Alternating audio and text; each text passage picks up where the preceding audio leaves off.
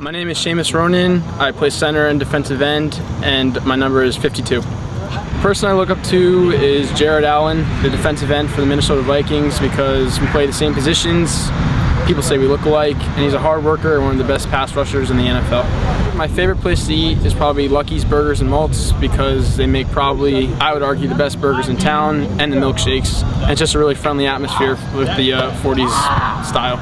My favorite TV show is 30 Rock on NBC with Alec Baldwin and Tina Fey because I think it's hilarious and very good writing. I'd say the best parts of school is the diversity. At Westhill we have kids from everywhere and so it kind of makes for an interesting school day and you take a lot out of it. I would say the worst part is probably math. I really don't like going to math class. It, it kind of stinks.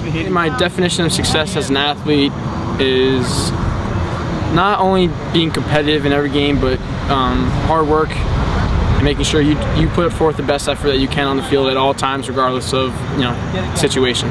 My goals for the season are to be competitive as a team, um, to win a few games, something that's been difficult in the past, and just really have a good time, enjoy my senior year of football, and on uh, Thanksgiving Day, meet Stamford High.